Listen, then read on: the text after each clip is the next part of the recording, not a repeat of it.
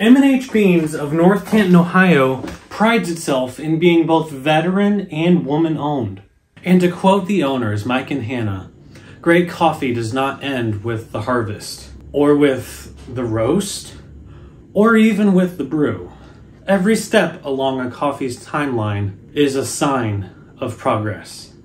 And this is found on their About page under sourcing.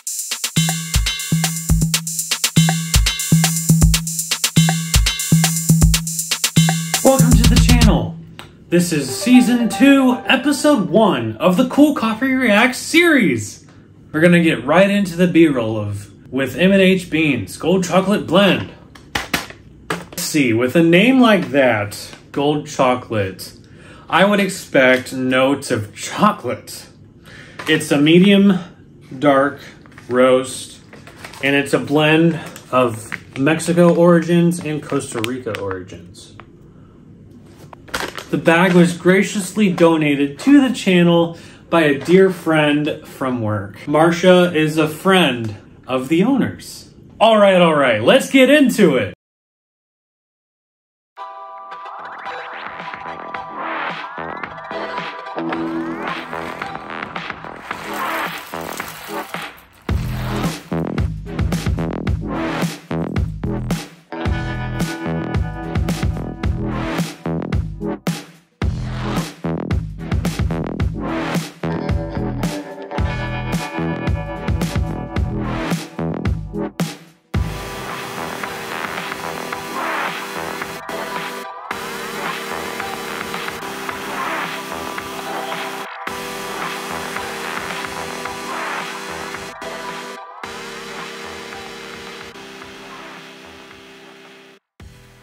All right, guys, this is really good.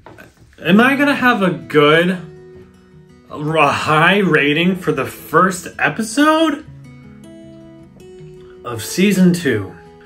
I definitely get ch chocolate notes in this. Smooth.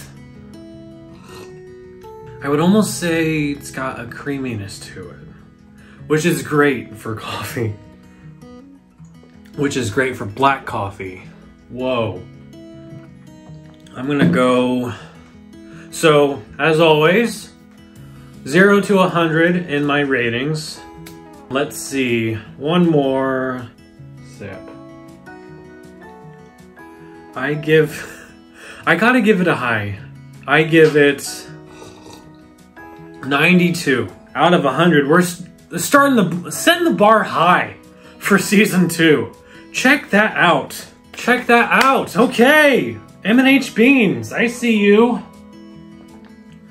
Just um, so you know, M&H Beans is, it's uh, by the Pavs Creamery. It's in North Canton, Ohio.